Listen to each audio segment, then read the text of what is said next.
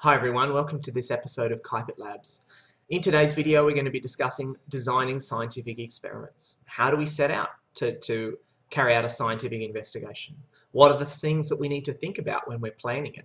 How do we go about carrying that investigation out? We're going to go through all of those processes and things today.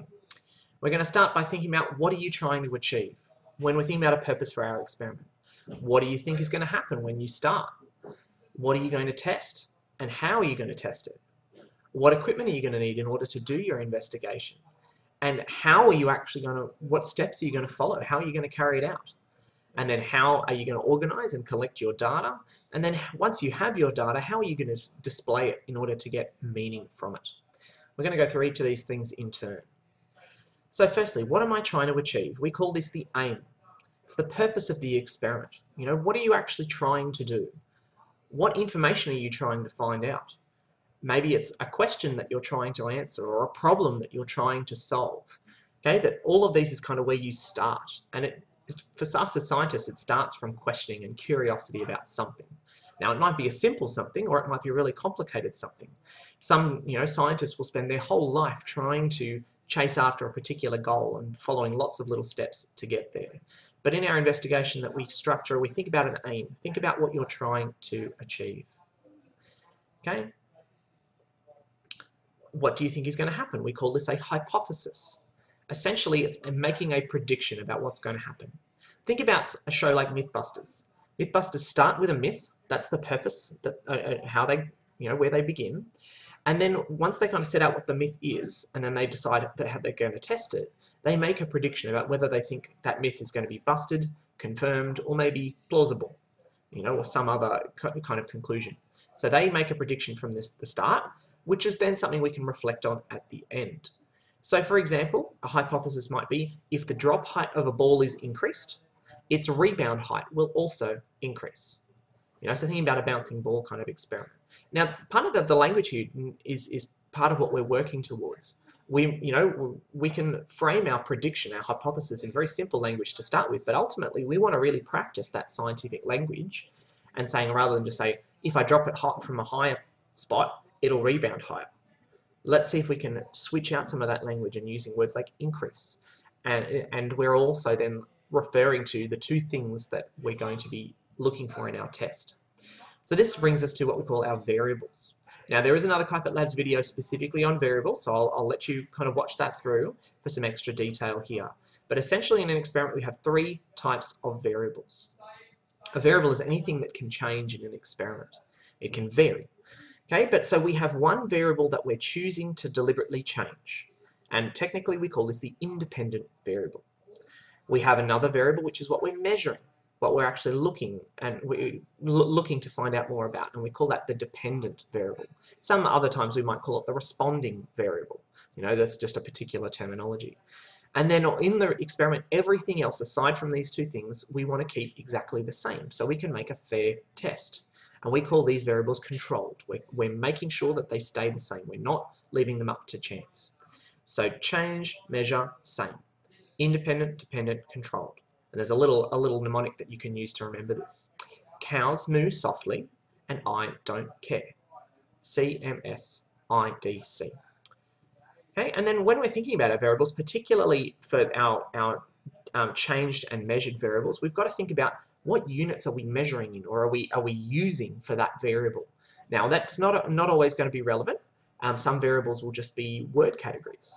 Um, but other things might be involved measuring in centimeters or seconds, millimeters, you know, so that there's some property that we're measuring there. Or it might be just a number, you know, one of this, two of this, three of this, four of this. Okay, so we need to be to keep that in mind because that frames what we need to look for in our equipment or our materials. So we say, all right, well, what equipment do I need in order to actually carry out this experiment? How are you going to set it up? So physically, what's going to be connected to what? And then how can you record how you did it? Okay, because it's all well and good to set this amazing thing up, but if you've got no idea later to come back and, and revisit it or to, to tell someone else about it, then it doesn't have the same impact. Okay, so here we've got kind of three sort of general setups for some different experiments, whether it's a bouncing ball or you know heating up to look at energy content of food or a toy car down a ramp. Each of these represents a, a, a setup of equipment. And so thinking through, okay, well, what am I going to need to make sure it can happen? What am I going to need to measure it? And so on. You need to think through that and plan through the details. In the same way that if you're trying out a recipe, you need to make sure that you have the saucepans, the fry pans, the mixing bowls, the specific equipment that you need to get it done. Because if you're halfway through the recipe and realize that you need something you don't have, it gets very tricky to finish it. And then how, okay, so say you've got your purpose, you've thought about what you're measuring, you've made a prediction, you've got all the equipment. How are you actually going to do it? What are you going to look for? We call this your method. Um, another word that we use is this one here called procedure. So the steps that get followed, starting with a verb in most situations. So as far as it's an action step, it's listing the, the things that you'll need to follow in order to carry out the experiment. So you're planning out a process that you can also use to keep it the same each time we also use repetition with this idea that in our process that we want to make sure that if there's a fluke result that we can see that it's a fluke by doing it enough times to to spot the the average kind of trend. So in our method that we make sure we do at least three or more trials or testing it that many times. You can see in these instructions using at least five times in this particular experiment that's here. Okay the more times the better. How am I going to organize my data?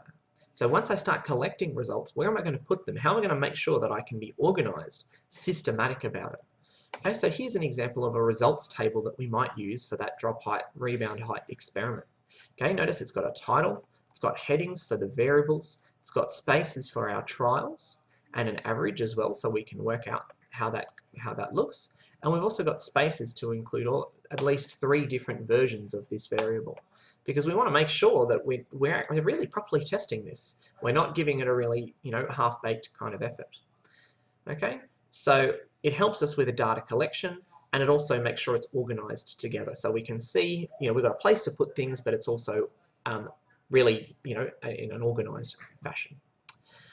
And then once we've collected our data, how do we display it? How do we show the patterns in the information that we've gathered in a way that gives us the chance to find meaning and trends and relationships. This is where a graph comes in. Okay, so that by putting all the data there and we're plotting it here, you can see trends and relationships so much more easily. So you can see with this one that it's easy to see that as the drop height goes up, that the rebound height also goes up in a really um, consistent sort of way. And it mean, but then the, the thing you have to, to consider is saying, all right, well, you're going to do a graph at the end. If you're going to do it, what type of graph is appropriate, column or line, the two main ones that we might use in a science experiment. And um, so there's a lot more information we can go into about that. Um, we'll save that for a, a, a, different opportunity, but essentially it relates to what type of information are you putting on the bottom of your graph. Are you putting a number scale like this one, in which case it needs to be a line graph, or are we using word categories um, like type of you know type of surface being carpet, lino, um, concrete.